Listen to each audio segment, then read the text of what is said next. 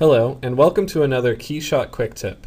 Today I'll be covering how to add reflections and lighting using physical models in your scene. So in this case, in this scene, I might want to add a reflection across the, the screen here, where there's a piece of glass that overlays the image, or I might want to add some little detail lighting to some other part of this model.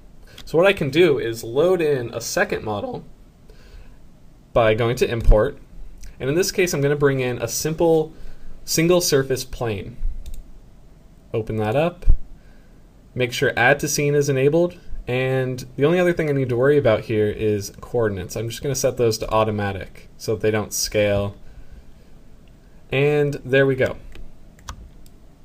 Now I can move this plane by right clicking, going to move object. I can also look at my new plane here in the scene tree and I can always right click on a plane or any model and move the object here in the scene tree. So I'm just going to move this and rotate it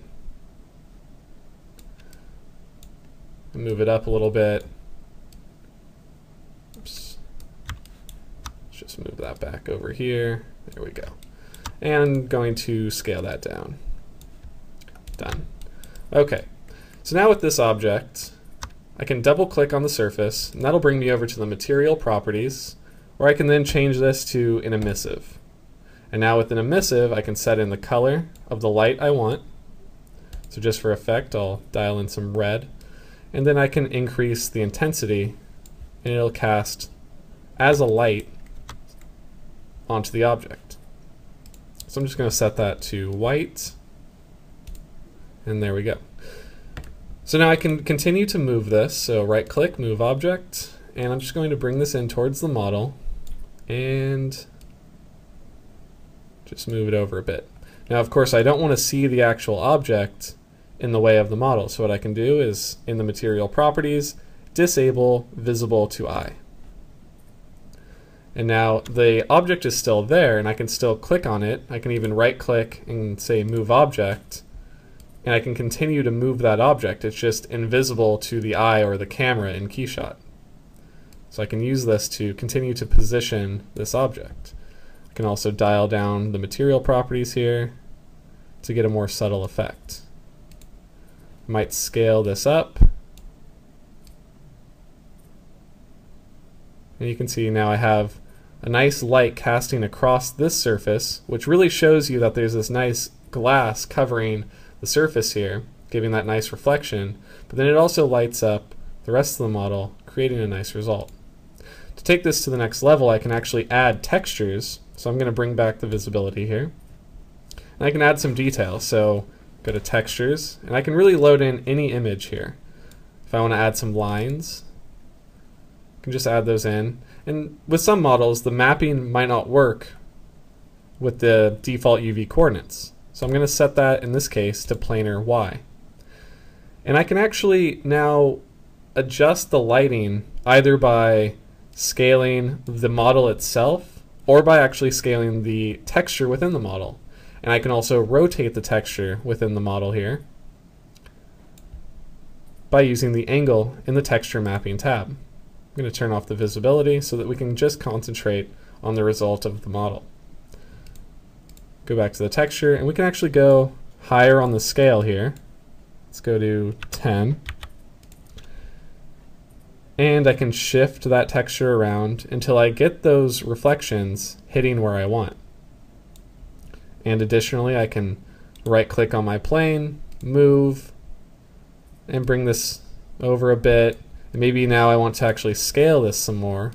So I can scale this up maybe move it away from the model a little bit so it has less sharp of a of an effect.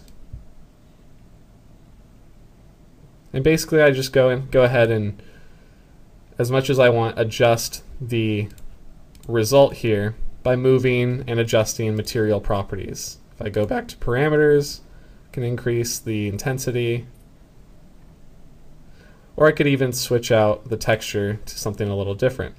Going to bring back the visible to eye, move object, and I'll just bring this a little closer to the to the model here again. Oops, that's rotating. Let's just bring that about like that and scale it back down a little bit.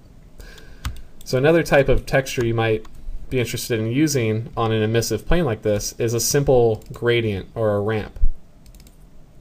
Load that in, and I'm going to set my angle back to zero, and I'm going to actually use the position button here to center this on the text on the surface a little bit better.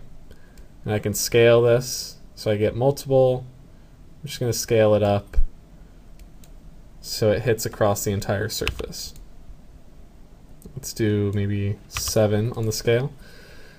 And now the result on the model will reflect with that gradient. So let's go ahead and hide that again from the camera and maybe increase the intensity a little bit.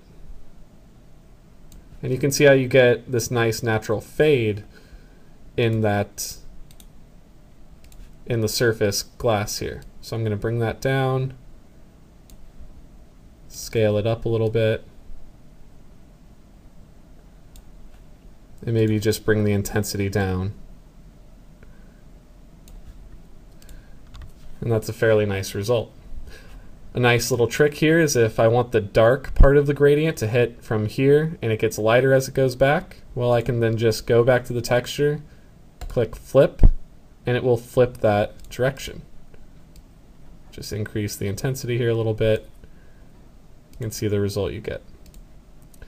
Now, of course, you don't, you're not limited to simple planes. You can really bring in any object to act as an emissive. In fact, I can just quickly double click on an object up here, any part of the model, set it to emissive, and I can create light from this object and hide it from the camera. So you're not limited to any sort of specific models. You can really add an emissive material to supplement your lighting to any model, or you can bring in a separate model.